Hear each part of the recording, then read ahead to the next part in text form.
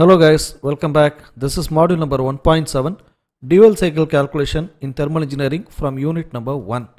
இந்த கொஸ்டின் கேட்கப்பட்டது. Anna university November December twenty டுவெண்ட்டியில் under the regulation of two thousand seventeen அதில் கேட்கப்பட்ட கொஸ்டின் இரண்டாயிரத்தி இருபத்தி ஒன்று மற்றும் இரண்டாயிரத்தி இருபத்தி ரெண்டு நமக்கு பேண்டமிக்னால் டிஸ்டர்ப் ஆகி போயிடுச்சு.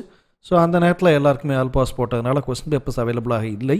ஆனால் இரண்டாயிரத்தி இருபதில் தான் எடுத்து இரண்டாயிரத்தி இருபத்தி மூணுக்கு அப்புறமாக நமக்கு கிடைக்கப்பட்ட கொஸ்டின்னா இரண்டாயிரத்தி இருபது தான் ஸோ அதில் இருக்கக்கூடிய கொஸ்டின் தான் இப்போ சால்வ் பண்ண போகிறேன் என்ன compression ignition engine working ignition a dual on a dual combustion cycle, pressure and temperature at the start of the compression are 1 bar P1 and 300 Kelvin T1. At the end of compression, pressure reaches the value of 25 bar. ரொம்ப simple எடுத்தோடனே நமக்கு compression start ஆகி முடிக்கும் போதே B டூவில் வந்துடுது so ஒரு கொஸ்டினில் பி ஒன் பி டூ நமக்கு டைரெக்டாக கிடச்சிருச்சு அப்படின்னு சொன்னாலே மற்ற பல விஷயங்களை நம்ம ரொம்ப ஈஸியாக கண்டுபிடித்து கொள்ள முடியும் அப்படிங்கிறது இந்த கொஸ்டினுக்கான கீவேர்ட் ஏன்னா நம்ம கொஸ்டின் படிக்கும்போதே பெருசாக இருக்குது லென்த்தியாக இருக்குன்னு பயப்படாமல் கொஸ்டின் பார்க்கும்போதே நம்ம கண்ணுக்கு இதெல்லாம் தெரியணும். இன்னொரு முக்கியமான விஷயம் இப்படி நான் பண்ணுற மாதிரி நீங்கள் கொஸ்டின் பேப்பரில் பண்ணிங்கன்னா அது மால் ப்ராக்டிஸாக மாறுறதுக்கான வாய்ப்புகள் இருக்குது நீங்கள் ஒரு ஓரமாக பேப்பரில் கிவன் டேட்டா மாதிரி எழுதிக்கிங்க okay the heat is applied at நானூற்றி இருபது kilo joule per KG of air during constant volume heating so constant volume ஹீட்டிங்கில் இருக்கக்கூடிய ஹீட் சப்ளைட் அதாவது QS one at the rate of V two which is equal to V three அப்படிங்கிற process இருக்கு இல்லையா? அதில் இருக்கிற heat சப்ளைடோட value மட்டும் கொடுக்கப்பட்டிருக்கு. And the pressure becomes two point eight bar at the end of isentropic expansion எக்ஸ்பான்ஷனுங்கிறது நாலுலேருந்து அஞ்சில் ஏற்படக்கூடியது. அப்போ P five which is equal to two point eight அப்படிங்கிறத அவங்க குறிப்பிட்றாங்க. Estimate the ideal cycle the equal so ideal cycle efficiency கண்டுபிடிக்கிறது அப்படிங்கிறது no issues அது temperature base அதுக்கு நீங்கள் டி ஒன்லேருந்து டி ஃபைவ் வரைக்கும் கண்டுபிடிச்சாகணும் இல்லையா? இங்கே நமக்கு ப்ரெஷர் மட்டும்தான் இருக்குது ஒரே ஒரு டெம்பரேச்சர்னால் ஒரே ஒரு வேல்யூ டி ஒன் மட்டும்தான் இருக்குது மற்ற டெம்பரேச்சர் வேல்யூஸே இல்லை. அப்போது டெம்பரேச்சரை கண்டுபிடிக்கணும்னா by the effective utilisation of pressure ப்ரெஷரை வச்சு இந்த கியூஎஸ் ஒன் இருக்கு இல்லையா? இதை வச்சு இதெல்லாம் வச்சு தான் நீங்கள் டி ஒன்லேருந்து டி ஃபைவ் வரைக்கும் கண்டுபிடிக்க முடியும். அப்படிங்கிறத பார்ப்போம். சரிங்களா?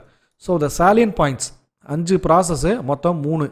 அஞ்சு மூணு பதினஞ்சு சேலியன் பாயிண்ட்ஸ் நமக்கு தேவை. பி ஒன்னுடைய வேல்யூ இருக்குது டி ஒன்னுடைய வேல்யூ இருக்குது தென் பி ஃபைவ்னுடைய வேல்யூ பி டூவினுடைய வேல்யூ இருக்குது இதை வச்சு இந்த நாலு வேல்யூஸ் தான் இருக்குது மீதி இருக்கிற பதினோரு விஷயங்களையும் நம்ம கண்டுபிடிக்கணும். ஆஸ் யூஷுவல் வி ஒன் கண்டுபிடிக்கிறது ஈஸி எப்படி? P one V one equal to RT one V one which is equal to RT one divided by P one P ஒன்கிறது one பார்னு சொன்னா ten to the power of five one into ten to the power of five அப்படின்னு டேரெக்டாக நம்ம போட்டுக்கலாம். இந்த வேல்யூஸை multiply பண்ணும்போது zero point eight six that is V five இங்கே V one equal to V five அப்போ நமக்கு கண்டுபிடிச்சாச்சு.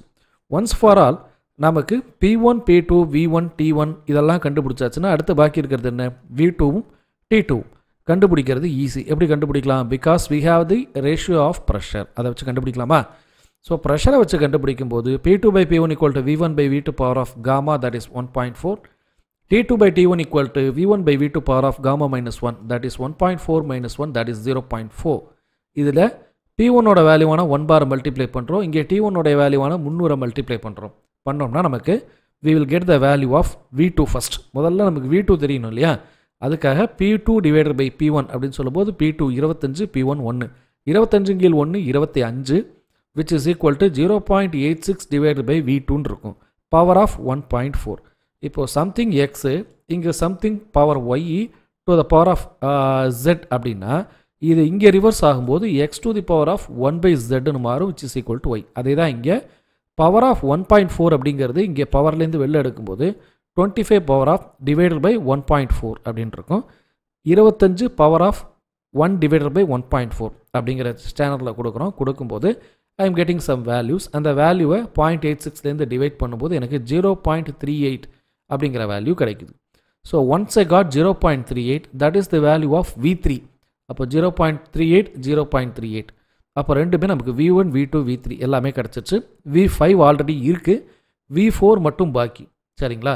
அடுத்து இந்த வால்யூம் வேல்யூ வச்சுட்டு நம்ம ப்ரெஷர் வேல்யூவை என்ன பண்ணிக்கலாம்? டெம்பரேச்சர் டி டூ முதல்ல கண்டுபிடிச்சோம்னா ப்ராசஸ் ஒன்றுலேருந்து டூ வரைக்கும் இருக்கக்கூடிய சைக்கிளை நம்ம கம்ப்ளீட்டாக முடிக்கிறோம். சரிங்களா? This is what the next step அடுத்த ஸ்டெப் என்னென்னா இதே தான் T two divide by T one equal to V one by V two power of gamma minus one V ஒன்னுடைய மதிப்பு zero point eight six V டூடைய மதிப்பு zero point three eight இதை power of zero point four that is one point four minus one that is zero point four இதை கொண்டு வந்து முந்நூறால் multiply பண்ணுறோம் பண்ணும்போது நானூற்றி பதினாறு அப்படிங்கிற ஒரு வேல்யூ கிடைக்குது.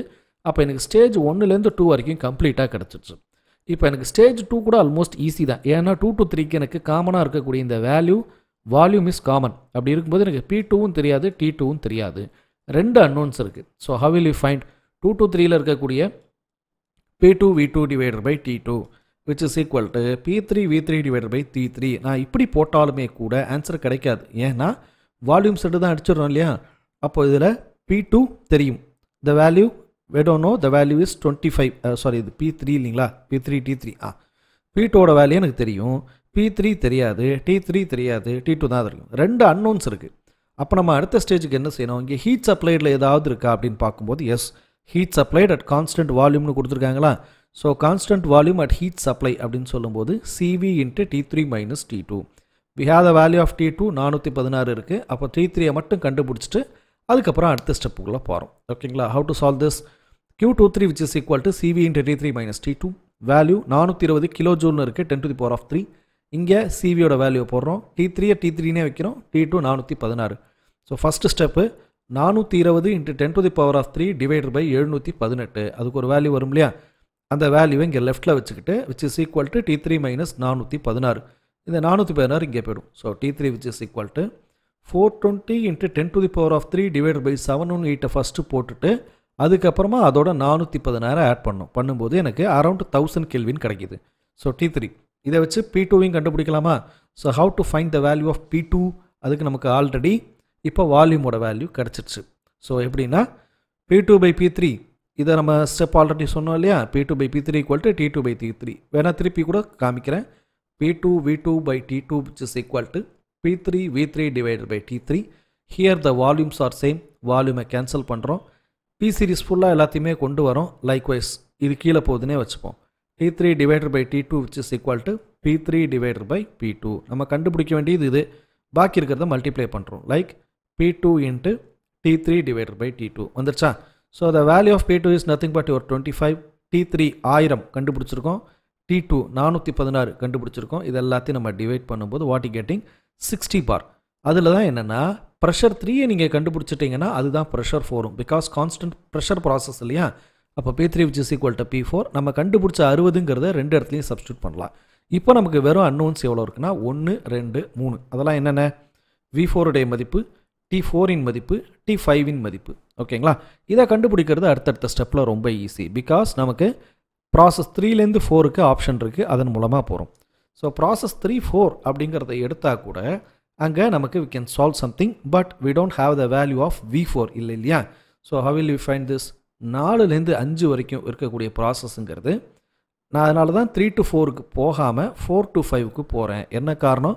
Because we have the pressure value அதுலேருந்து நம்ம என்ன பண்ணலாம்? கண்டுபிடிக்கலான்னு ஒரு ஆப்ஷன் ஏன்னா பி ஃபைவும் இருக்குது பி ஃபோரும் இருக்குது வால்யூமும் இல்லை இங்கே டெம்பரேச்சரும் இல்லை அப்படிங்கிறனால என்ன பண்ணுறேன் த்ரீ டு ஃபோரை நான் ஸ்கிப் பண்ணிவிட்டு ஃபோர் டு ஃபைவ்க்கு போகிறேன் ஒரு ஸ்டெப் முன்னாடி போகிறேன் இப்படி போகலாமா சார்னு கேட்டால் போகலாம். நமக்கு என்ன வேல்யூஸ் அவைலபிளாக இருக்கோ அதை இங்கேருந்து முடித்து நம்ம கண்டுபிடிச்சிட்டு திருப்பி ரிவர்சல் வரலாம். அதனால தான் என்ன பண்ணியிருக்கேன் இந்த சம்ம சால்வ் பண்ணதே. த்ரீ டு ஃபோருங்கிற ஸ்டெப்புக்கு போகலை. அதுக்கு பதிலாக ஃபோர் டு ஃபைவ்க்கு போயிருக்கோம். V five divide by four four equal to V four by V five power of gamma இதை அப்படியே இங்கே இன்வெர்ட் அடிச்சிங்க அப்படின்னா ஒன் டிவைடட் பை காமா அப்படின்னு வந்துடும் V four divide by V five we don't know the value of V four but V ஃபைவ்ங்கிறது zero point eight six இதை இங்கே multiply பண்ணிக்கலாம். P five இன் மதிப்பு two point five P four இன் மதிப்பு அறுபது. இதை divide by one by one point four அப்படின்னு போட்டிங்கன்னா கிட்டத்தட்ட ஜீரோ பாயிண்ட் லெவனு அதோட ஜீரோ பாயிண்ட் எயிட் சிக்ஸை மல்டிப்ளை பண்ணும்போது zero point zero nine metre cube so this is coming under V four இப்போ நமக்கு என்ன கிடைக்குது? டி ஃபோரோட வேல்யூவும் தெரியாது டி ஃபைவும் தெரியாது. ஸோ அதில் இப்போ நம்ம அதை கண்டுபிடிக்கிறதுக்கு ப்ராசஸ் த்ரீ டு ஃபோர் போகலாம் எப்படி?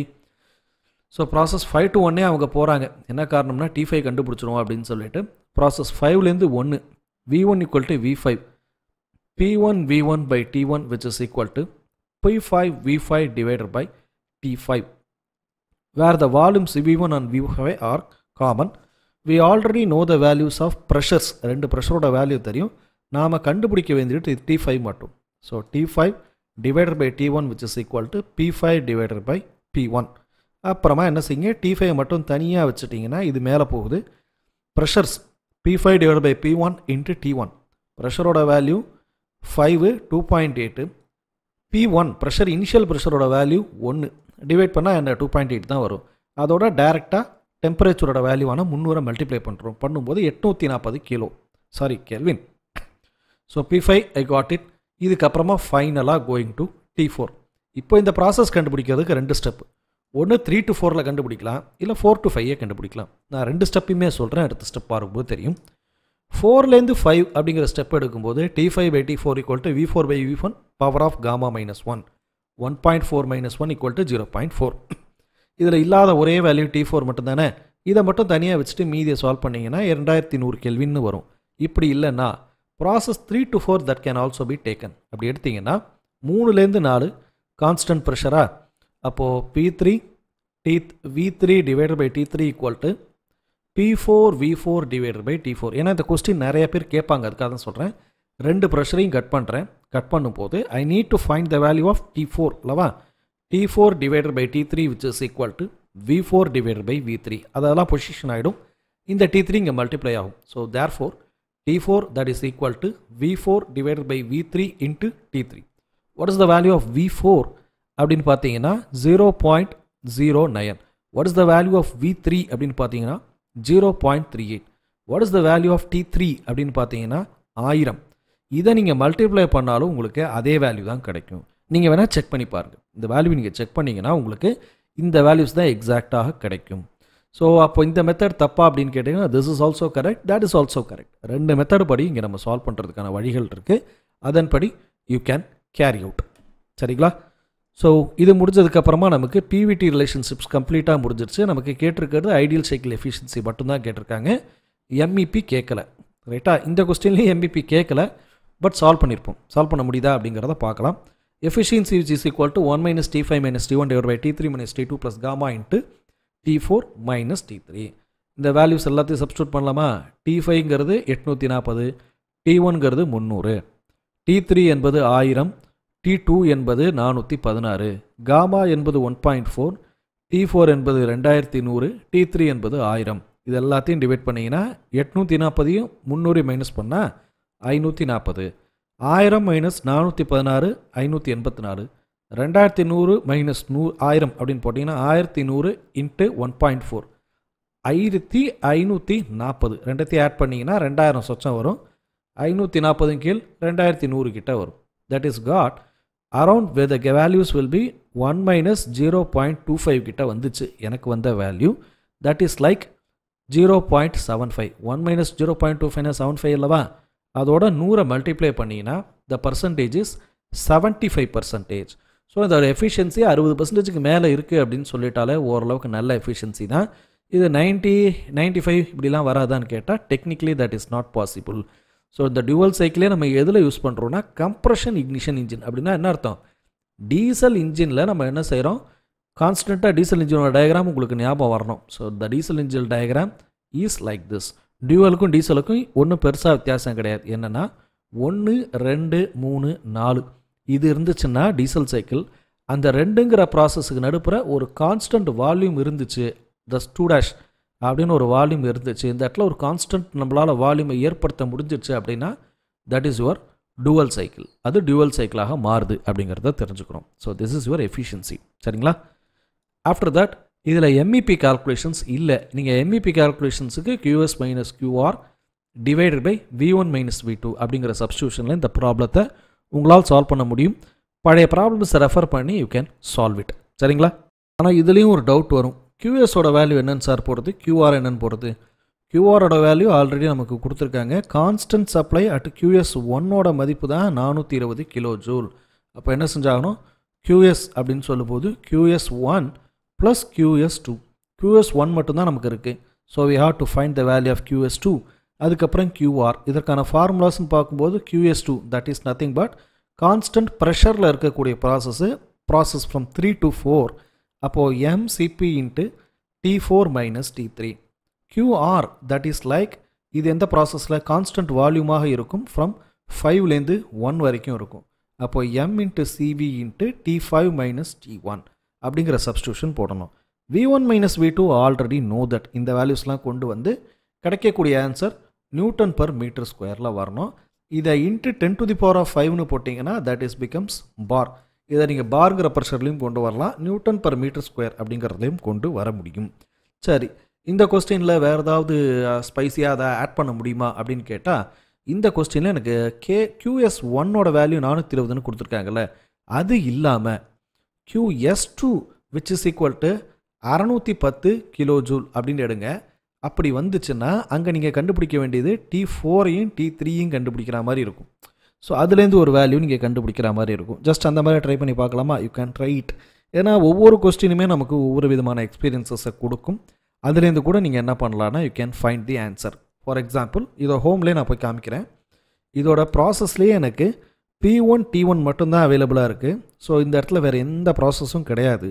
நம்ம என்ன பண்ணிட்டோம்? கொஞ்சம் கொஞ்சமாக டி டூ வரைக்கும் போனோம். அதுக்கப்புறம் கொஞ்சம் கொஞ்சமாக டி த்ரீ கண்டுபிடிக்கிறதுக்கு we had the process of யா இந்த ஃபெராசஸ் கொண்டு வந்தோம். அதுக்கு பதிலாக எனக்கு Q S two which is equal to அறநூற்றி பத்து கிலோ ஜூல்னு எடுக்கிறேன் அப்படின்னா அதுலேருந்து நான் என்ன செஞ்சாகணும்? T four minus T three இதில் வேல்யூஸ் கண்டுபிடிக்கிறது கஷ்டமாக இருக்கும்.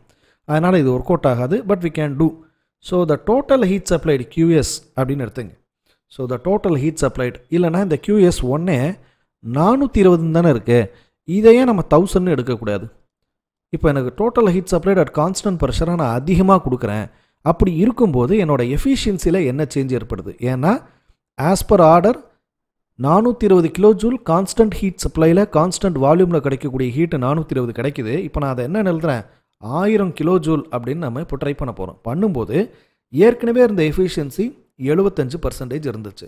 இப்போ இதை பண்ணுறதுனால எஃபிஷியன்சியோடைய வேல்யூ அதிகமாகுதா கம்மியாகுதா அப்படிங்கிறத செக் பண்ணுங்கள் இது பண்ணிங்கன்னா உங்களுக்கு ஒரு சம்மில் ரெண்டு சொல்யூஷன் உங்களுக்கு கிடைக்கிறதுக்கான வாய்ப்புகள் இருக்கும். இப்படி பண்ணிவிட்டு ஆன்சரை எனக்கு கமெண்ட்ஸில் தெரியப்படுத்துங்க. இது எனக்கு மட்டும் பயன்படாது. உங்களை மாதிரி அடுத்து பார்க்கக்கூடிய சப்ஸ்கிரைபர்ஸ்க்கு இது ஹெல்ப்ஃபுல்லாக இருக்கும். சால்வ் பண்ணுறவங்களுக்கு ரொம்ப ரொம்ப யூஸ்ஃபுல்லாக இருக்கும் அப்படிங்கிறத தெரியப்படுத்திக்கிறேன். சரிங்களா? So this is what our problems go on எங்களோட வீடியோக்கள் பிடிச்சிருந்துச்சு அப்படின்னா உங்களை ஃப்ரெண்ட்ஸ் அண்ட் ஃபேமிலிக்கு ஷேர் பண்ணுங்கள் இந்த கரண்ட் செமஸ்டரில் இருக்கக்கூடிய கொஸ்டின் பேப்பர் அப்படிங்கிறனால இப்போவே பார்க்க ஆரம்பிச்சிங்கன்னா உங்களுக்கு ரொம்ப ஹெல்ப்ஃபுல்லாக இருக்கும் அப்படிங்கிறத தெரியப்படுத்திக்கிறோம். தொடர்ந்து ஆதரவளிக்க please supporters by liking this content sharing this content putting comments இந்த கமெண்ட்ஸ் பாக்ஸ் தேங்க்ஸ் ஃபார் வாட்சிங் திஸ் வீடியோ தேங்க்யூ